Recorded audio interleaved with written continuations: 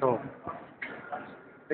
National Heroes Convention, held on May the 24th, 2011, is not a part of the PLP government program, but has been called by supporters of the Young Progressives within the Bermuda community.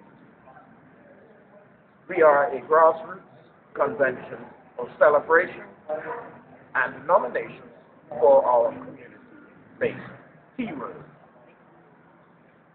The Bermuda Young Progressives also have been compiling a list of community heroes, such as Austin Thomas, Freddie Wade, Otto Simmons, Roland Hill, Clarence Hill, and these community heroes will be also honored in our heritage at other community events such as the National Heroes Peace and Love Picnic to be held on June the 24th at Shelly Bay for children.